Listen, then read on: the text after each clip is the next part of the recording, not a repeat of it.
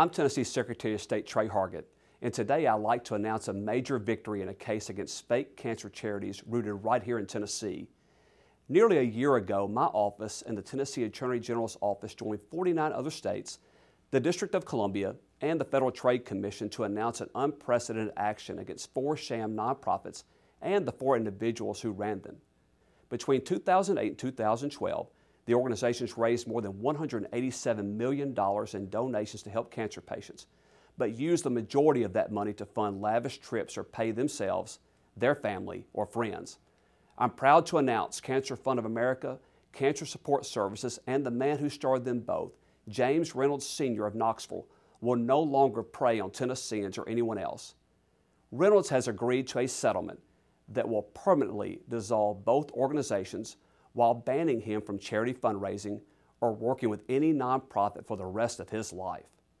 Any assets will be liquidated and go to legitimate charities.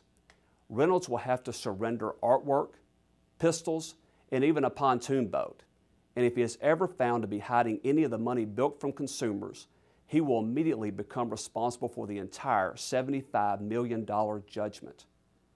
The other two sham cancer charities shut down last year when three people closely related to Reynolds all agreed to similar settlements.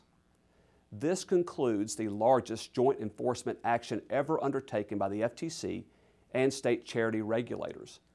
It was an extremely long but crucial investigation that should send a strong message. This type of fraud will not be tolerated in Tennessee or anywhere else. If you ever have questions about a charity or professional solicitor operating in Tennessee, Contact our Division of Charitable Solicitations and Gaming by calling area code 615 741 2555 or going to sos.tn.gov slash charitable.